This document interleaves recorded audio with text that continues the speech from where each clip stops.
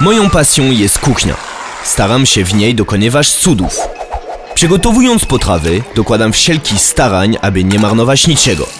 Dlaczego? Wielu Polaków jest zagrożonych niedożywieniem. Nie stać mnie na marnotrawstwo. Pascal Brodnicki. Nie marnuj jedzenia. Wyrzuć do śmieci stare przyzwyczajenia. Wejdź na www.niemarnuje.pl i dowiedz się więcej. Banki żywności. Przeciwdziałamy marnowaniu.